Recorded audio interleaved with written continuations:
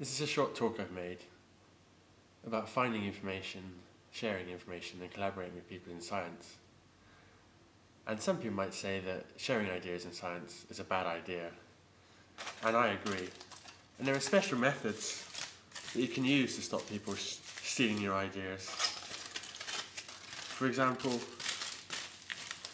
a fair amount of paranoia is important. And your ideas are your currency. And if you think everyone is trying to steal your ideas, you're probably right. I find that tinfoil is quite good. It stops the TV talking to me, and it stops other scientists taking my ideas. If I were you, I wouldn't watch the rest of this talk. If you feel you must, make sure you've got a good tinfoil hat. The first part of this talk is about using tools on the internet to collaborate with other people you're working with.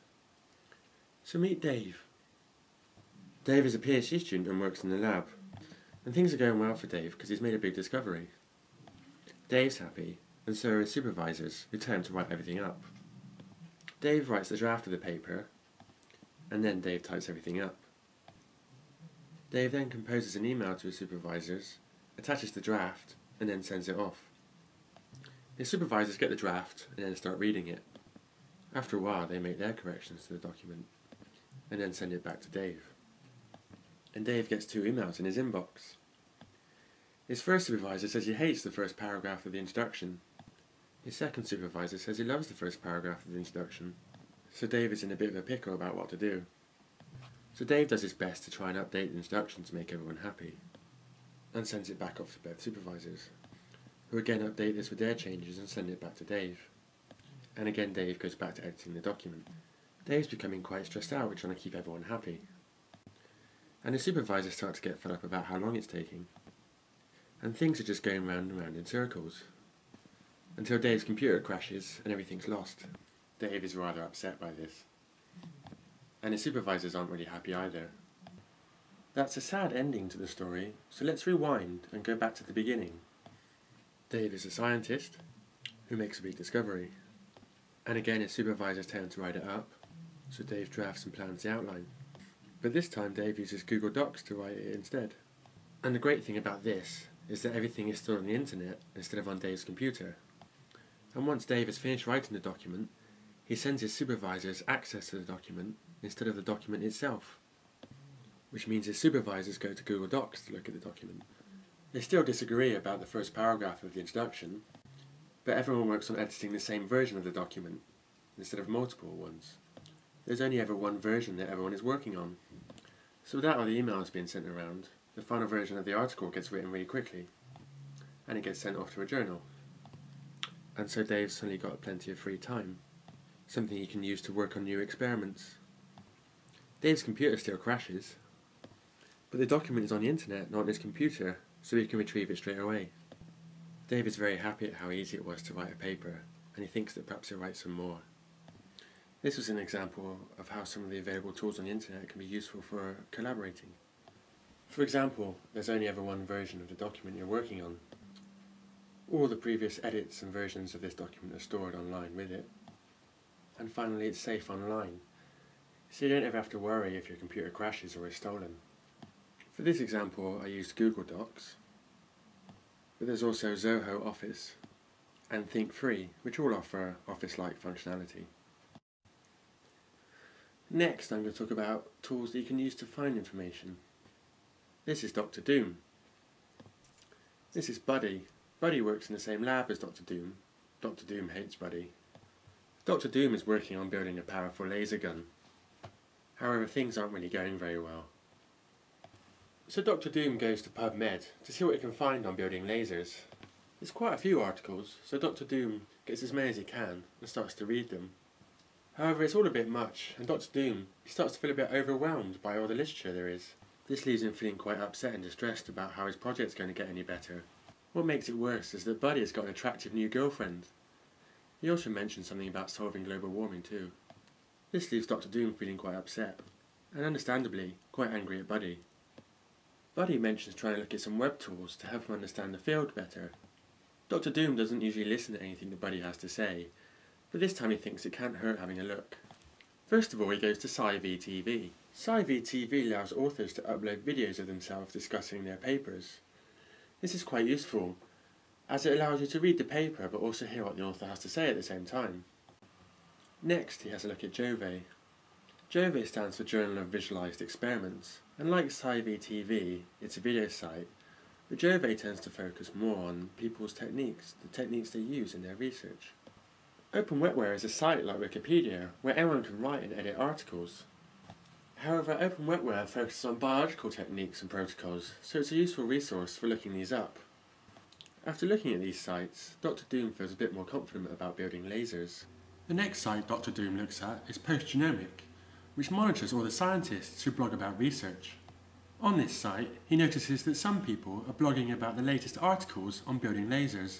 So Dr. Doom follows the link to the blog post so you can see what other people are writing about the article. Finally, Dr. Doom looks at Connotea, which allows researchers to share and organise articles they're interested in. After organising his articles using Connotea, Dr. Doom notices that one has already been tagged by another user, Professor Destruction. After looking at Professor Destruction's profile, he finds some other papers that are of interest to him. So Dr. Doom is able to take this new information and apply it to his research, which turns out to be exactly what he was after, and he starts to see a lot more success. And in the long run, things start going very well for Dr. Doom in his research and in his personal life. So this was an example of the tools you can use to find information. These aren't meant to replace journal articles, but rather supplement the information that's available. There's video sites, such as SciVTV, and Jove. Many scientists like to blog about the research they're interested in, and sites like Postgenomic can help you find these blogs. And finally, there's sites that allow you to organise your bibliographic database, such as Connotea and CiteULike.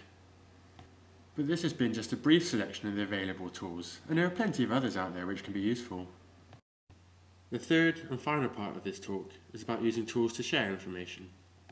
And for this part of the talk, I'd like you to meet me, an example of how intelligence doesn't preclude great abs or huge biceps. Of course, if this were true, I'd be out having fun instead of sitting at home on my own making stupid videos. And so far, I've been talking about using the web to collaborate and to find information. But sharing information is something different. And you could say that sharing information is somewhat risky. But it doesn't have to be risky.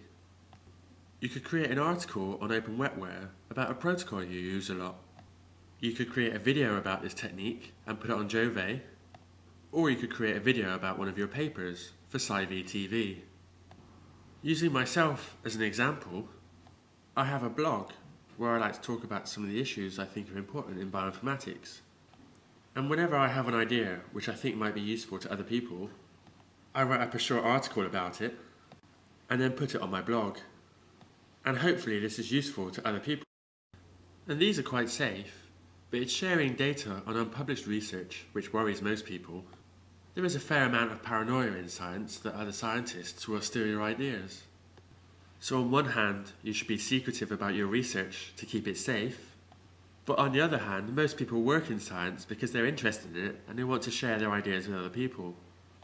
So using me as an example again, I'm in favour of sharing information as much as possible because I think this is good for science. And I have a second blog where I write about what I'm working on. So for anyone who's interested in my research, they can get access to it earlier. And of course, you could say this is quite risky, but I like to get a second opinion about what I should put online and what I shouldn't. And remember, any ideas that you put on the internet, you can't patent and therefore you can't commercialise. But ultimately, I think it's worth it because sometimes when other people read my research, it gives them an idea they hadn't thought of.